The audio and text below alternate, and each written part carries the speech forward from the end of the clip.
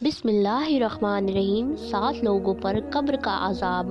अस्सलाम वालेकुम प्यारे दोस्तों, हज़रत अली रज़ी अल्लाह तु से रिवायत है, रसूल अकरम सल्लल्लाहु अलैहि वसल्लम ने फरमाया कि सात लोग ऐसे हैं जिन्हें कब्र में दफन कर दोगे तो उनके रुख किबले से फेर दिए जाएँगे।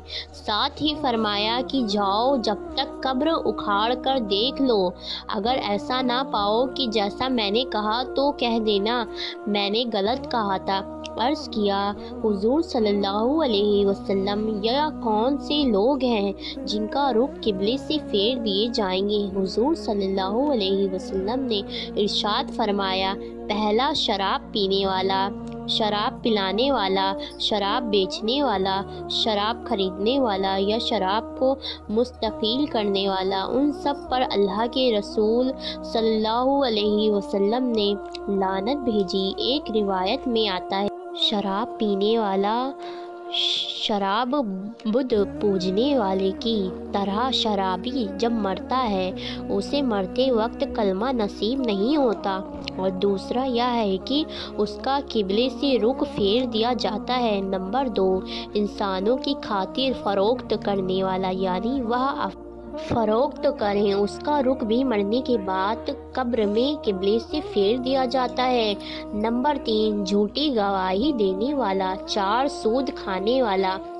सूद देने वाला, सूद लेने और सूद लिखना, यह सब उसमें शामिल है। सूद लेन देन के गुनाह के सत्तर दर्जे हैं और सबसे कम दर्जा अपनी माँ से। जिना करने के बराबर है। ऐसा शख्स जो सूद ले देन करता हो। मौत के बाद कब्र उसका रुख भी किबले से फेर दिया जाएगा। नंबर पाँच, किसी की मौत पर नोहे करने वाली औरत आँखों का गम और दिल का गम अल्लाह की तरफ़ से है, लेकिन हाथों का और ज़ुबान का गम शैतान की तरफ़ से है। एक रिवायत में आया है कि जिसने गिरवान नोचा, उसके मुँह पर थप्पड़ मारे और जाहिलों जैसी बातें की, हमसे कोई ताल्लुक नहीं। इसलिए जब दिल गम ज़्यादा ज़्यादा हो तो आँखों से रोएँ और शरीयत ने मना किया नहीं किया है, लेकिन बावले करना और उल्टी सीधी बातें करना या कुफरी का अकालमत है।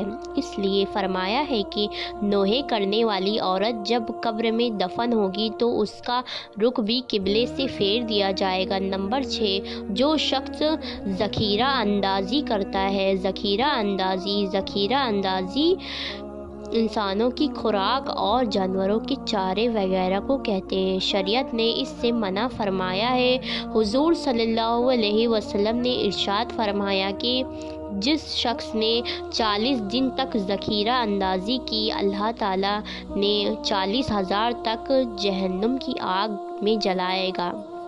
ऐसे अफराद जो ज़ख़ीरा दोजी करते हैं, उनके रुख कब्र में किबले से फेर दिए जाएँगे। नंबर सात, जो शख्स नमाज़ तो पढ़ता है मगर जमात के साथ नहीं पढ़ता। प्यारे दोस्तों, इसी तरह के सच्चे वाक़ सुनने के लिए चैनल को सब्सक्राइब करें। आमीन।